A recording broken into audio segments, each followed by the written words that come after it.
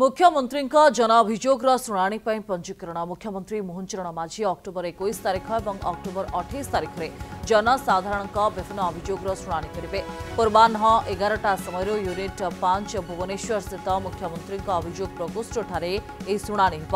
এই দুই দিন অভিযোগ শুনানিৰ পই অনলাইন পঞ্জিকৰণ হ'ব আজিৰ পৰা পূৰ্বানহ 11 টাৰো ইয়া আৰম্ভ হ'ব। প্ৰতি অভিযোগ শুনানিৰ দিনৰ পইৰ সর্বাধিকক ହଜାରେ ଜଣ ପଞ୍ଜୀକରଣ କରିପାରିବେ ପଞ୍ଜୀକରଣ କରିଥିବା ବ୍ୟକ୍ତିମାନେ ମୁଖ୍ୟମନ୍ତ୍ରୀଙ୍କୁ ସାକ୍ଷାତ କରି ସେମାନଙ୍କ ଅଭିଯୋଗ ଜଣାଇପାରିବେ ଜନଶୁଣାଣି ପୋର୍ଟାଲ ଅଥବା